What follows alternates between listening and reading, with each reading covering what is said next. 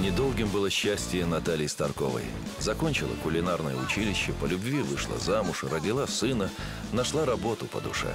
Но муж-электрик погиб во время аварии на подстанции, и с тех пор единственным мужчиной в ее жизни оставался любимый сын. Паш, ты встал или не встал, а? Ты в школу опаздываешь. Паша рос обычным мальчишкой, недолюбливал школу, предпочитал ей футбол и общение с друзьями. Мать слушался, но относился к ней с легким подростковым высокомерием. Паш, да сколько ж можно, в конце-то концов, а? Ну, каждое утро одно и то же, одно и то же. Все. Все. Я встал. Он у меня вообще-то хороший мальчик. Просто просыпается с трудом и не в духе. Сова. Ничего не поделаешь. Так я не понял, а где мой чай? Ворчунка. Мамка у меня молодец. Не то, что у Макса дружбана моего. У него вообще не родители, а жесть какая-то. Не, у меня хорошая, мне с ней повезло.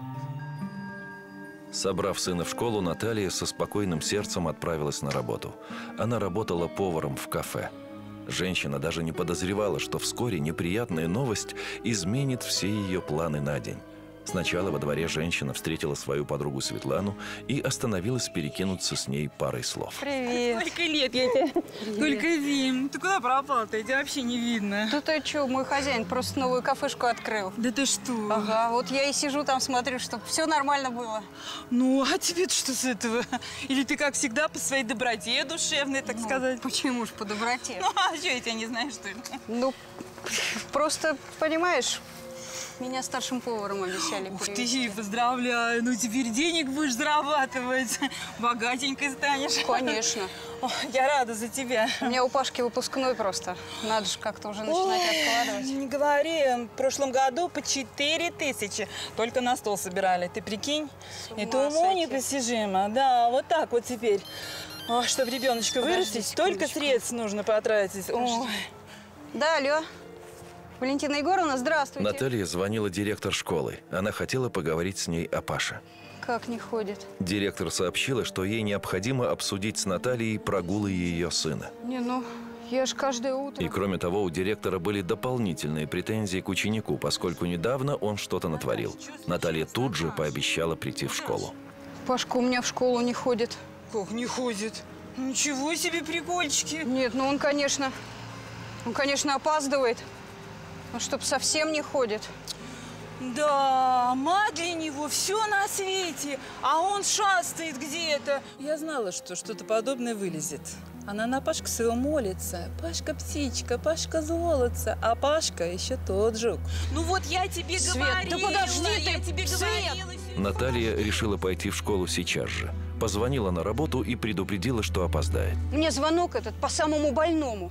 Я же его никогда не ругаю. Почему молчит? Может быть, его одноклассники затравили?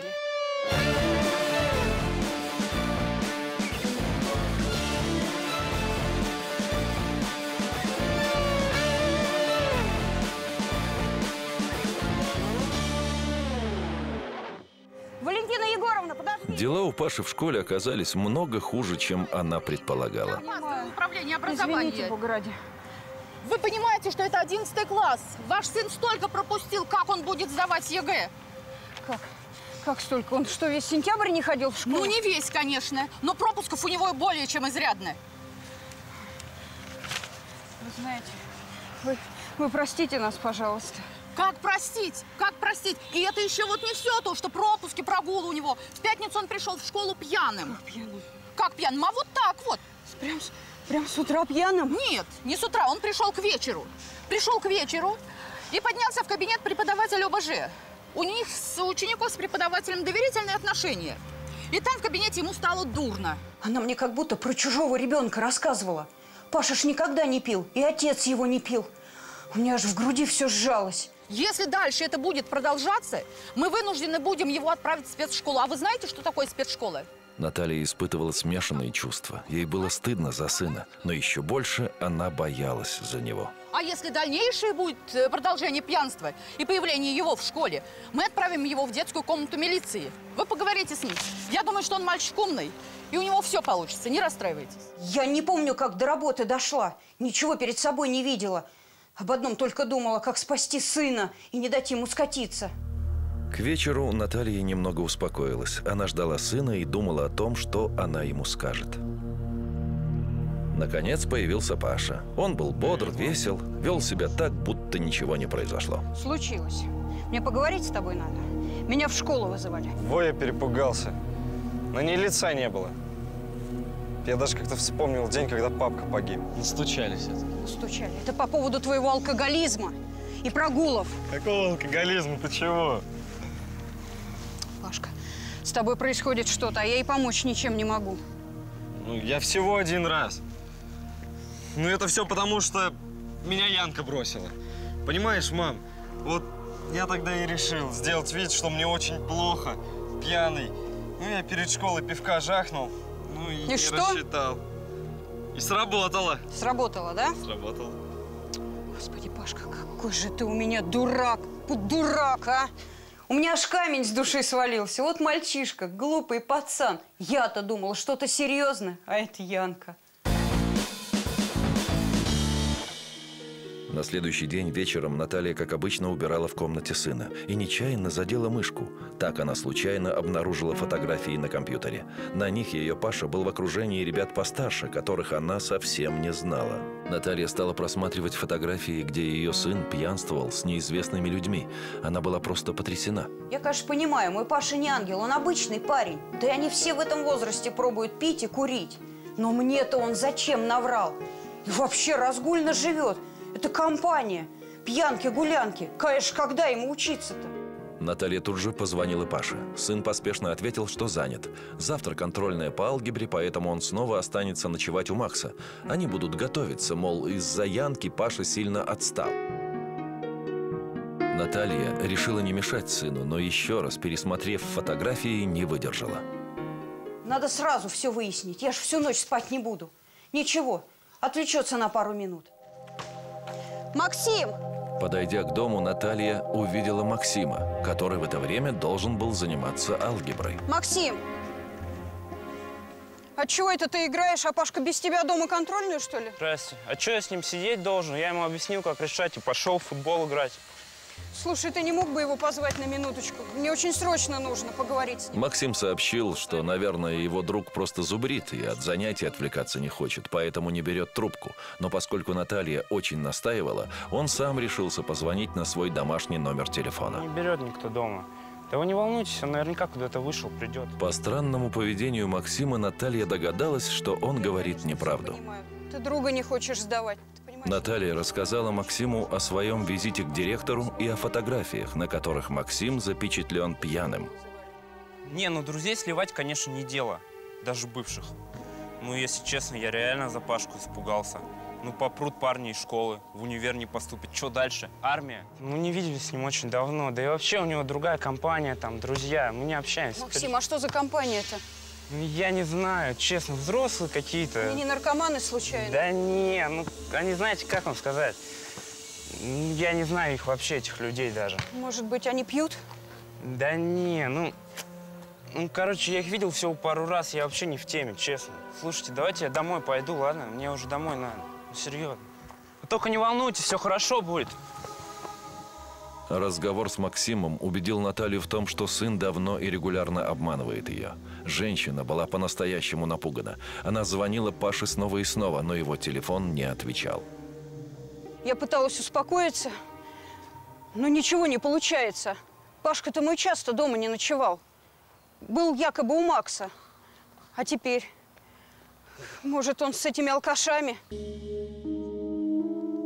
Утром Наталья вышла на работу. Она не спала всю ночь. У подъезда она столкнулась с подругой Светланой. А что ты так разнервничалась? Он же первый раз все, что ли, ночует? Нет, нет, понимаешь, я-то все это время думала, что он у Макса ночует. А теперь я правду знаю. Парню-то помогать надо. Я на Наталью поражаюсь. Она все к доброте взывает. А сейчас люди доброты не понимают. Они на шею садятся и ножки свешивают. О, вон он. Явился, не запылился. Глаза твои бесстыжие. И вам здрасте. Да. Надо с тобой поговорить. Мать, смотри, ты что довел? Лица нет на матери. Че это с ним?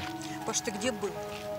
У Макса мы Не надо мне врать. Я все прекрасно знаю. И про новых друзей твоих, про новую компанию, и про фотографии. Я Наталья увидела, что Паша слегка напрягся. Фотографии? Которые на компе, что ли? Конечно. Так они специально для Яны были сделаны. Ну ты чего? Паш, а Макс мне сказал, что у тебя какая-то взрослая компания. Да какая взрослая компания? Я брат и еще пара парней, вот и все. Мамка, как обычно, где-нибудь что-нибудь услышит, ничего не поймет, и как начнет паниковать. А гулял я с Яной всю ночь. Это правда? Да, ходили, на звезды смотрели. Все, нагулялся, можно телек к школе готовить. Пашка, ты меня точно не обманываешь. Нет, не обманываю. Ты что так все слишком близко к сердцу воспринимаешь-то, ну? Конечно, он меня успокоил. Раньше у нас такого не было. Теперь какие-то секреты. То одно говорит, то другое. На следующий день в новом кафе была санобработка, и Наталье дали выходной. Она решила прибраться в комнате сына. Паша никогда не был против. Наташа не знала, что ее ждет еще одна неприятная находка. Сначала я ничего не поняла. Думала, это мои. У нас все документы в ящике специальном хранятся. Думаю, зачем Пашка их к себе переложил? А когда посмотрела... Среди документов сына Наталья обнаружила квитанцию из бухгалтерии о получении Пашей зарплаты в музыкальном салоне «Нота» и результаты анализов крови. Оказывается, Паша-то работает курьером в музыкальном салоне. А я об этом ничего не знаю. Так он из-за этого школу-то прогуливает. А деньги-то ему зачем нужны? Наталья решила немедленно пойти к Паше на работу и все выяснить. У подъезда Наталья заметила Светлану, которая как будто нарочно поджидала подругу, чтобы услышать от нее о новых неприятностях и задать слишком доброй и нетерпеливой мамаше хорошую взбучку. Анализы на кровь. Анализы? Анализы на кровь. А как ты думаешь, зачем же он кровь-то сдавал? Да я не знаю. Ты не знаешь? А я-то знаю. Он в плохую компанию попал. Там пил, курил, бог знает чем занимался. Вот Свет, не надо так, потому что что, так? он мне только про работу не сказал. Но он тебе про работу не сказал. А он там с одной девчонкой переспал. Поэтому Яна на него обиделась. И еще мало того, он венерическое подцепил. Прекрати. Вот, вот почему. Света, прекрати. Вот почему ему Света, не говори такое. Ну что я тебе не говорю такое? Ему поэтому и понадобились деньги для, для лечения, понимаешь? В поликлинику с этим не пойдешь? Матери сообщат сразу, а то и в школу. А деньги нужны для лечения большие. У меня как будто пелена спала. Я, конечно, в это верить-то не хотела, но все настолько логично получается, что и по-другому-то не, не подумаешь. Он идет, золото самоварное. Хотя сын пришел ровно в то время, в какое и должен был вернуться из школы, Наталья уже не была уверена, что он был именно там, а не на работе или с дружками. Пашка, я все понимаю, Паш, ну разные болезни существуют. Но есть такие, которые можно цепануть, а потом бояться матери сказать. Может, ты стесняешься, может, что не можешь сказать. Паш, да найду я тебе деньги на лечение, понимаешь, найду. Я, кажется, все понял. Это очередной тетя Светкин бред. А что, ты хочешь сказать, что она не права? Не, ну она, конечно, всегда права. Да я работаю, мам. А все эти бумажки нужны, анализы нужны были для трудоустройства, понимаешь? Пашка, тебе учиться надо, у тебя экзамен выпускной, ЕГЭ. Да я и так учусь, я просто поначалу вставал, а делал вид, что ухожу в школу и возвращался домой. Так а мне-то ты почему ничего не сказал, а? Да ты и так, Паш, как ломовая лошадь. А если для развлечения? Какие развлечения? Это что, это вот твоя вот эта компания, да? Да нет никакой компании! Я на барабанах хочу научиться играть. Чего? Паш, Паш, да найду я тебе на эти барабаны. Миленький, только учись, понимаешь, учись. Почему мать должна так горбатиться на меня? Я сыт, обут, одет, причем неплохо одет. Я еще должен за ее счет развлекаться? Да стыдно же, мне 17. Ну хорошо, мам, хочешь, я пойду в школу, сдам все зачеты, поговорю с учителями. Мир, мир, мир. Да мир. Я так была растрогана Пашиными словами. Хороший он у меня все-таки мальчик вырос, благодарный. Но вот эта идея с работой мне все-таки не понравилась. Два дня прошли спокойно. Павел приходил домой вовремя, делал уроки, и вот вечером после работы Наталья случайно встретила Яну, девушку своего сына. И эта встреча снова все повернула вспять. Здравствуйте. Привет. Слушай, сто лет тебя не видела, а ты что к нам совсем не заходишь? Как бы вы разве не знаете, мы с Пашей не встречаемся. Как не встречаетесь? Вы что, поссорились опять? Ой, да не бери в голову, он тебя любит. Да мы два месяца назад расстались, у него другая давно. Да нет, он тебя любит. Историю всю эту на УБЖ затеял, чтобы тебя вернуть. Мы что-то перепутали, он со мной даже не разговаривает. Я к нему подхожу, с учебы помочь хотела, а он мне такой, не пытайся меня вернуть, это бесполезно. Да сколько же это может продолжаться? Только поверю, и снова. И все по-другому. С Пашкой что-то происходит. Он заврался совсем. И про тебя наврал. Работает зачем-то, в школу не ходит.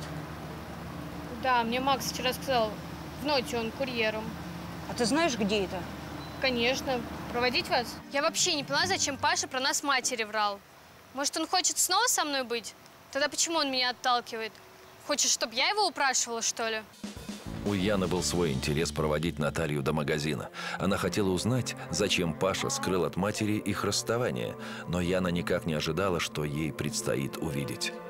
Бывшая возлюбленная нечаянно застала Павла с его новой пассией. Наташа, я не могу. Яночка, Яночка, ты чего? Наташа. А вам что-то подсказать? Я очень удивилась. Рассказывает мне про Яну, а сам с такой хорошенькой продавщицей воркует. Ну, у меня и сынок. Мам, ты что здесь делаешь? Еще и Яну с собой притащила. Я Яну случайно встретила. Я даже... Наталья пыталась выяснить у сына, что все это значит. Почему Павел стал ей так много врать? Это что за женщина? Это твоя новая девушка? Ну да. Она же в два раза тебя старше. На 8 лет и что? Ты так врешь, Паш, Мама, давай не будем. что мне даже странно становится. Давай не будем сцены на работе устраивать, ну. Паш, ты, ты же знаешь, Паш, Давай, давай. Давай, мам, все. я перестаю его понимать. Я думала, он от несчастной любви страдает. А он бедную девочку бросил, а сам ко взрослым женщинам пристает. Выйдя из магазина, Наталья пыталась найти расстроенную Яну. Ее не пришлось искать долго.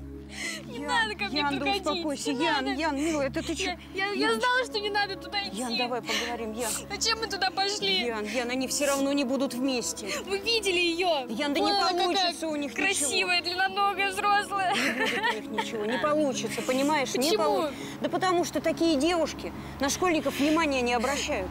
Они на них просто смотрят и Это смеются. неправда.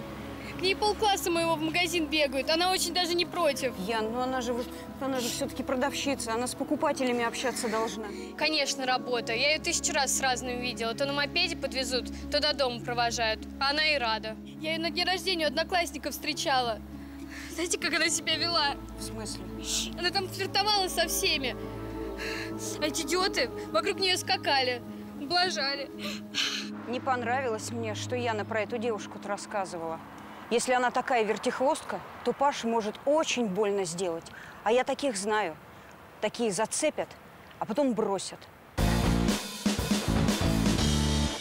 Наталья с волнением думала о предстоящем разговоре. Неужели сын действительно влюблен в эту взрослую дамочку? Наталья решила предупредить сына о грозящей ему опасности. Я не знал, как ей сказать. Мамка-то, она у меня очень впечатлительная и расстраивается из-за мелочи любой. Ну, я и не хочу ее волновать. А получается только хуже. А ты извини.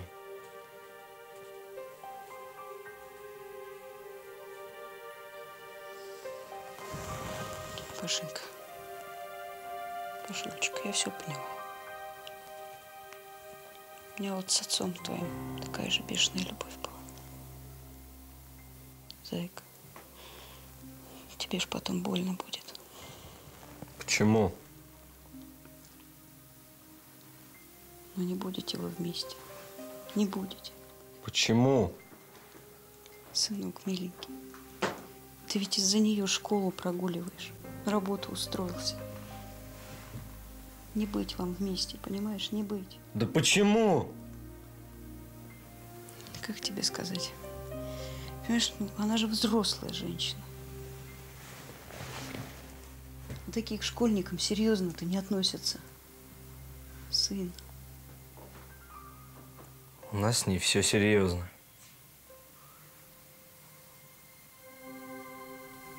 Пашенька. Паша решил, что пора говорить правду и только правду. У нас с Ниной будет ребенок. Я всякое предполагала, но ребенок. Пашка школьник, ему учиться надо. Нет, я люблю детей, я внуков хочу, но не сейчас же, ему 17 лет. Паш, да ты что? Что, что? Я же и на работу устроился, чтобы малыша содержать, когда он Ты же еще школьник. У тебя школа, институт. Да не до института. Господи, а эта баба о чем думает? От школьника рожает. Ты думаешь, мне не страшно? Когда она мне сказала, я вообще напился. Я ж к БЖшнику пошел, он мужику. А матери, матери ты чего не сказал? Сейчас сказал!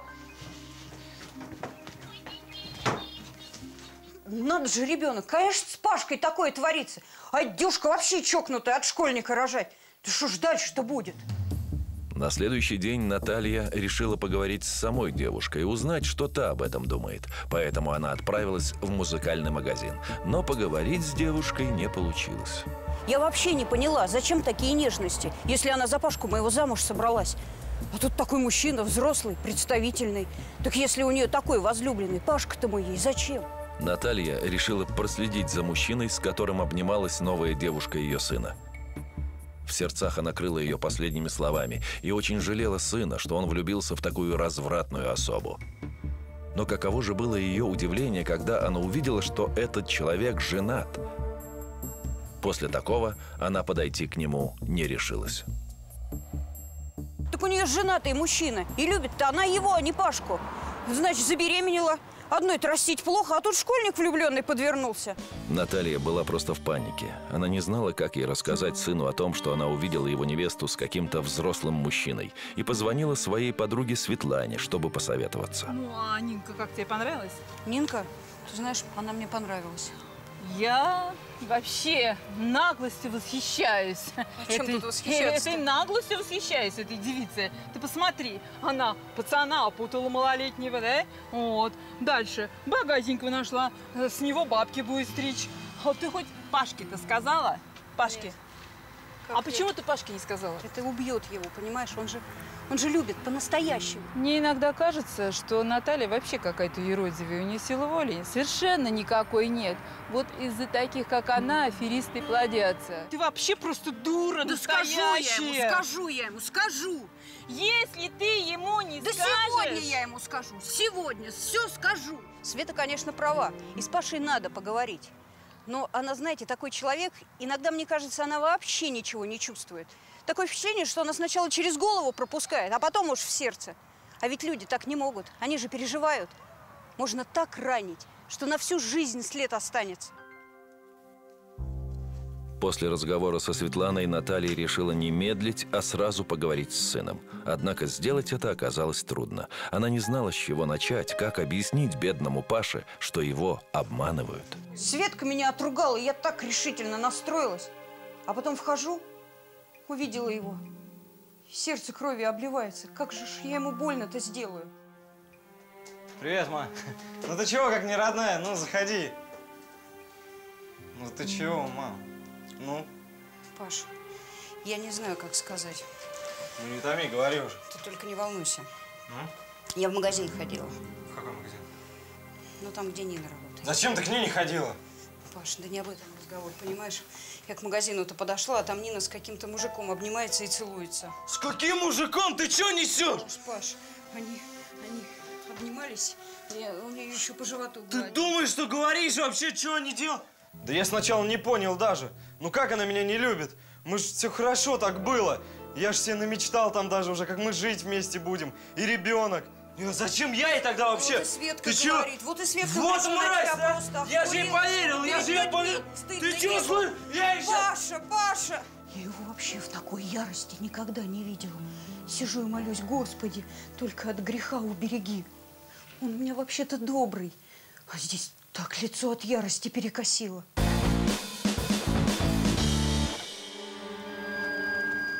Ночевать Паша не пришел. Сотовый забыл, поэтому Наталья всю ночь не спала. Утром она все же пошла на работу. Чувствовала она себя неважно. Она переживала, что сын не перенесет предательство этой девушки и что-нибудь с собой сделает. Больше всего Наталья боялась, что если с сыном что-нибудь случится, она может об этом не узнать, а когда узнает, будет поздно. В таких тягостных мыслях она не знала, как проведет этот день. Но внезапно перед домом она увидела сына. Я как увидела, испугалась прям вся. Думала, бомж или алкаш какой, до дома не добрался. Ой, боже мой, а это мой сын. Сын это мой, сын. Паш, сынок, просыпайся. Паш, ты чего, Паш? Паш, Перед мамкой, конечно, стыдно. Но когда плохо, уже ни про кого не помнишь. Ни про мамку, ни про себя. Хочется только забыться и ничего не соображать. ты где был? М? Я у нее был. Ну, у нее было что? Паша рассказал матери, как пришел вчера к Нине и все ей высказал. Нина даже оправдываться не посчитала нужным. Захлопнула у него перед носом дверь и заперлась. Паша был очень расстроен. Он не мог поверить. То, что он называл настоящим чувством, оказалось обманом. Прости, да при чем здесь вообще прости? Как мне жить дальше? Паш, Прости. сынок, ну как? Как дальше жить? Ну, мы же жили как-то раньше. Ну, давай так и дальше жить, Как раньше, да? как раньше. Ну, хорошо же жили, Хоть знаешь, Паш. как я раньше жил? Паш, хорошо жили. Как все я жил. Ну, жили как все все. в футбол, и я в футбол. Как все. Паш, ну хорошо же. Когда жили. она Ну, Паш. появилась, я как-то лучше стала. Понимаешь, я даже книги какие-то там начал читать, музыку слушать, барабаны какие-то. Паш, ты так, ты так дальше и продолжай. Да смысл так дальше продолжать? Книги читай, барабаны. Я же это для нее все, чтобы от нее не отставать. Барабаны. Паш, ну поверь мне, Пашенька, ну все нормально будет. Ну ты, ты еще встретишь свою любовь, настоящую любовь. Паш, ну Я встретишь. никому уже не поверю. Наталья утешала сына. Но Паша ничего не хотел больше слышать. Ни о Нине, ни об их отношениях. Паш, сынок, Пашенька, Паш, Паш, Да отстань. пойдем. Паш, домой пойдем, Пашенька.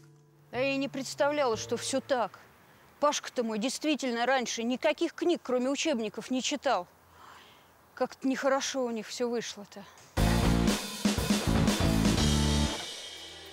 Вечером Наталья вернулась с работы. Решила подбодрить сына, приготовив ему вкусный ужин. Однако она еще не знала, что увидит в Пашиной комнате. Наталья сильно занервничала, когда поняла, что Паша ушел из дома. Первая мысль, которая пришла ей в голову, что Паша мог пойти в магазин к Нине, и она решила отправиться туда. Придя в музыкальный магазин, Наталья не знала, где ей искать собственного сына. Я почувствовала, что он там. Я Пашку знаю. Он неугомонный. А раз он настолько влюблен, то не успокоится. В магазине посетителей не было, и Паши тоже нигде она не нашла. Однако в магазине она увидела то, чего совсем не ожидала увидеть. Я не поняла сначала.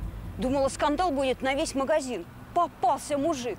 Жена, ребенок, беременная любовница. Наталье показалось очень странным, что жена и любовница так хорошо общаются.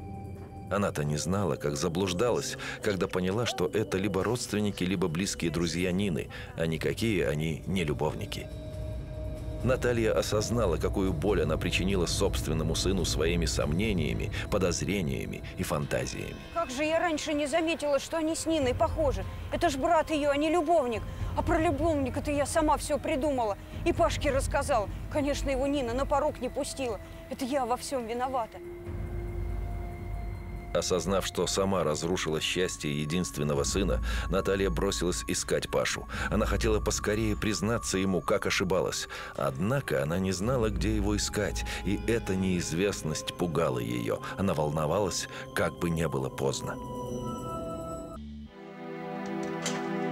К счастью, Наталья застала Пашу дома. Она не хотела его будить, но оказалось, сын просто лежал с закрытыми глазами. Я тебя разбудила? Да нет, я уснуть не могу. Паш, Мысли всякие лезут. Паш, это... Я была сейчас у Нины. Этот мужик, Какой мужик? Паш, он, он брат ее, понимаешь? Чей брат? Нинин брат, она его братом называла. Это не любовник ее, понимаешь? Это брат. Как же я обрадовался-то. Я же жизни без Нины не представляю. Я же эти дни чуть с ума не сошел. Я как представлю, что она там с этим... Да слава богу, все в порядке. И что к ней пойду все. Да вы, Паш, Паш, из-за меня извинись, за меня скажи, что я во всем Да виновата, скажу, скажу. Паш. Я надеялась, что Нина его простит. Это так больно, когда любимый предает. Я, конечно, извинюсь перед ней, но сначала пусть Паша поговорит. Все оказалось не так просто. Через несколько минут Павел вернулся домой, и Наталья поняла, что Нина ее сына не простила. Тогда Наталья решила объяснить девушке все сама. Я не знала, что ей скажу. Мы ведь даже не знакомы. И мне было страшно все испортить. Но мне надо было с ней поговорить. К удивлению Натальи, Нина ее узнала. Запомнила еще после их визита в магазин с Яной. Мне надо поговорить с вами. Я уже Паше все сказала.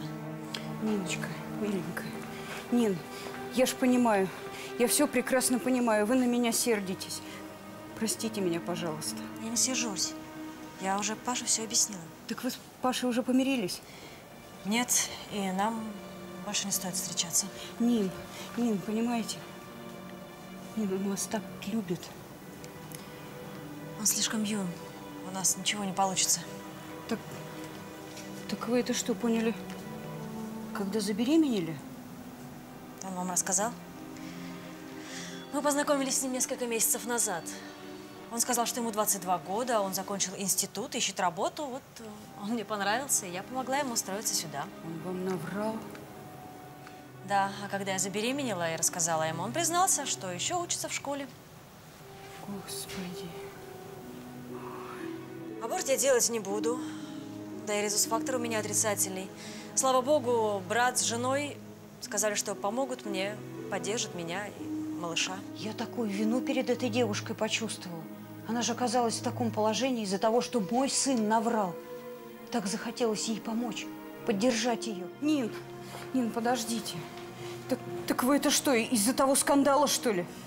Да не в скандале дело. Он раньше ревновал, а тут я поняла, что он ребенок.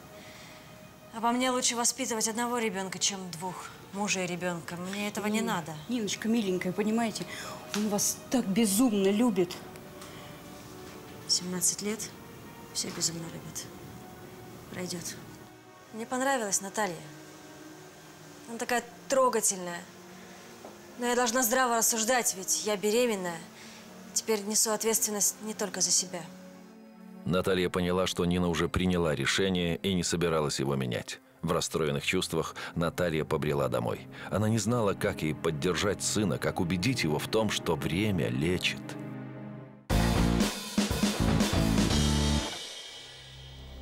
Наталья ломала голову над тем, как теперь утешить сына. Но внезапно она увидела Пашу в сопровождении какого-то незнакомого мужика. Но она еще не знала, что ей предстоит узнать страшную новость. Пашка, Пашка, Пашка. Господи, Пашка, что ж такое-то? Паш, Паш, Ой, Паш, Пашенька, Паш. Сынок, ты цел, Паш. Пашенька, тебе плохо, Паш? Пашка, ну ты чего, Паш? Господи, Пашка, Паш. Спасибо вам. Я с вами поговорить хотел. Я сторожем работаю на станции. Вечером выхожу, смотрю, лежит на рельсах. Подхожу ближе. Пацан совсем. Как на рельсах? Я его стянул, по мордасам надавал. А он, смотрю, вообще пьяный в стельку. Ну, я его к себе Наталья просто не знала, как отблагодарить этого хорошего человека, который буквально из-под поезда вытащил ее сына и спас его от неминуемой смерти. Паша хотел покончить с собой. Тяжелый у вас сынок-то. Все думают, что на рельсах самоубийцы всякие. Я всю жизнь на железке, а такое впервые. Вот я перепугался. Как увидел, так и понесся к нему, как сайгак, в припрыжку. Господи, это же, это же он прям, это что, от несчастной любви? Да это, он, он что, он с Да вы собой не волнуйтесь. Я с ним по-мужски поговорил, мозги ему вправил. Вроде понял все. Но вы за ним посматривайте. Глаз да глаз нужен. Молодежь. Может, он и не понял ничего. Я, я буду смотреть за ним, буду. Спасибо вам. Господи, Пашка, Паш, Паш, вставай, Пашка. Пашка, что ты со мной делаешь, Паш? Подай Васе. Солнце ты мое. Чем я могу помочь сыну? А если он снова попытается? Я ведь эти состояния очень хорошо знаю. У меня, когда муж погиб, жить вообще не хотелось. Словно вот половину меня оторвали.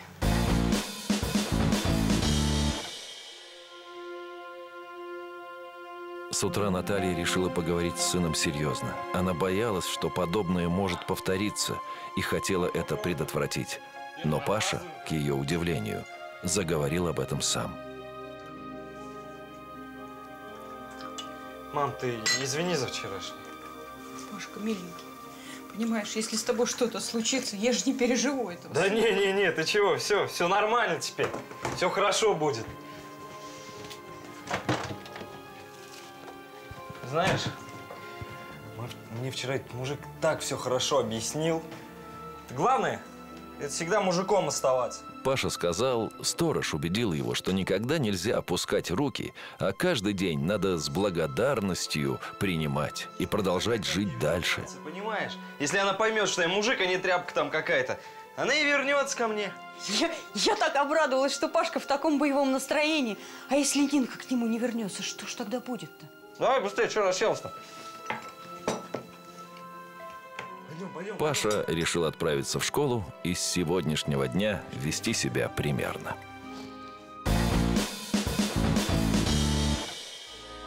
Наталья была очень рада, что сын, наконец, взялся за ум. Она пожалела, что не успела отблагодарить того самого сторожа Ивана, который ее сыну сказал такие правильные слова. Внезапно появилась соседка Светлана. Ну как дела-то, Наташа? Ну как? Расстались они с Ниной. Как, вы такие радостные, счастливые шли. Я подумала, у вас все хорошо. Ну, а что ты переживаешь? Пашке-то всего 17 лет. Пока он из себя мужика будет корчить.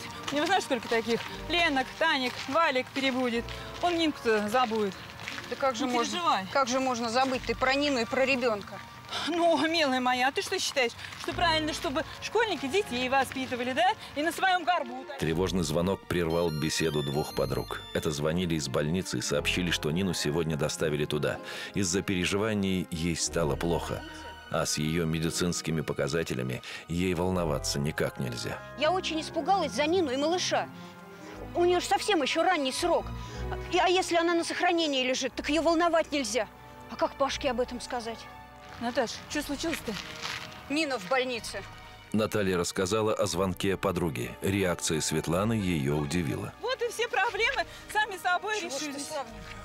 А чего? Ты чего говоришь-то такое? это что я Ты тебе- понимаешь, что такое людям говорить нельзя? Ты о чем такое? вообще? Я добра твоему ребенку желаю. У ребенка отец должен быть. Отец, понимаешь Да ты я это? хочу, чтобы он карьеру сделал. Да ну тебя, дура! Подумаешь, Пашке 17. Что же он теперь, не может воспитывать своего ребенка? Если люди любят друг друга, они не должны расставаться. После неприятных новостей из больницы Наталья никак не могла найти себе места. Не выдержав, она отправилась встретить сына из школы и не знала, как ему сообщить эту трагическую новость. Мать боялась расстроить сына. Наталья поделилась с Пашей, что Нина из-за переживаний попала в больницу, и теперь существует угроза потери ребенка. Я за Нину очень испугался. Как там она, как малыш? Захотел сразу к ней побежать, там обнять ее, успокоить. Какой же я дурак был. Она же у меня такая ранимая. Что делать будем? Паш, я не знаю. Я сейчас с этой Светкой поругалась, она такие гадости говорила. Да фиг с ней с этой Светкой. Она же вообще в жизни ничего не понимает. Паш, что ты молчишь? Да что мне говорить-то? Я не знаю, что мне делать. Я даже первый раз в жизни не знаю, что мне делать. В больницу надо ехать. Да я думал об этом. Сомневался что-то. Да не сомневайся. Пойдем цветы покупать. Я очень волновалась, но была рада, что Пашка именно так решил. Если не знаешь, что делать, надо сердце слушать. Купив букет, Паша и Наталья отправились в больницу. Увидев Нину в коридоре, Наталья дала возможность молодым разобраться с глазу на глаз. А сама затаилась. Я все же боялся, что Нина на меня рассердится и выставит. Еще и плохо станет из-за этого, расстроится. А я же этого не хотел. Но я просто смотрел и ждал, что будет. Привет. Привет. Я, ты это, ты как? Нормально? Спасибо. С ребенком тоже все хорошо. Ты как? Нормально. Тебе. М, Спасибо. Красивые. Научился выбирать? Ну, мамка помогла. Мне понравилась твоя мама. Приятная женщина. Да. Ты этот... Ты знаешь, я же не за этим пришел. Я объяснить тебе хотел. Паш, не начинай, пожалуйста. Не буду. Я просто... Я очень потерять тебя Паш. боялся. Да мне плохо без тебя. Я и сейчас боюсь тебя еще потерять. Ну, это тоже тебе.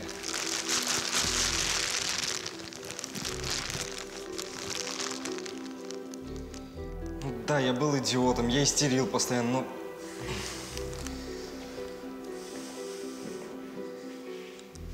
прости меня. Ты знаешь, я тоже была не права. Я вчера вечером лежала и думала о тебе. Я же... Я велся как идиот. Ты... Прости. Ты знаешь, я люблю идиотов.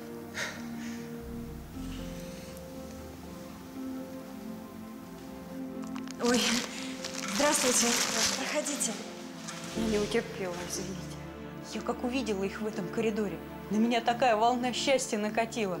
Обрадовалась до слез. Нина молодец. Мам, ты чего, мам? Мам! Ну ты чего, мам? Что с тобой? Да это я так, от счастья. Я был так рад, что даже говорить не мог. Я просто сидел и смотрел на Нинку.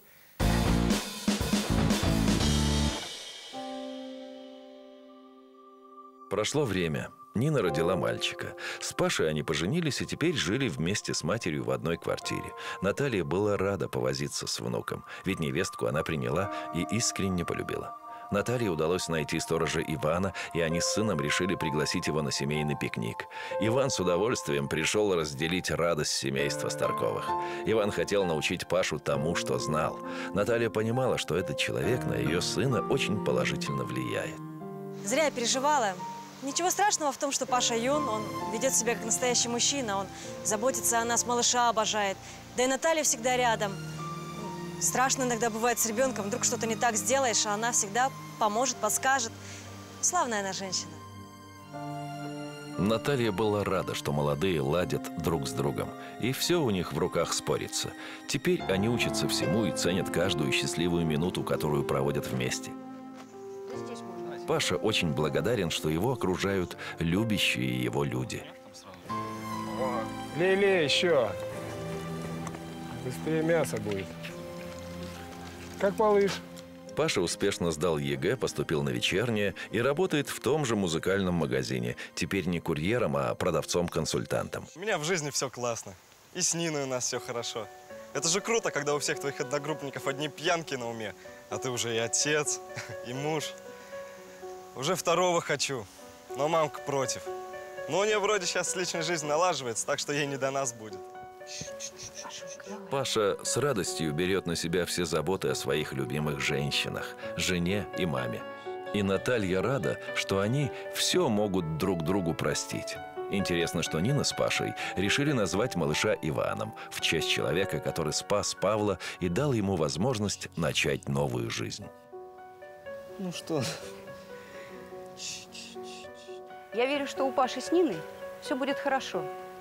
Это ж не важно, сколько человеку лет. Главное, чтобы он человеком оставался и поступал по совести. Я так рада. У меня такой прекрасный внучок. Да и личная жизнь налаживается. Мне Иван Николаевич предложение сделал. В основу фильма легли реальные истории реальных людей –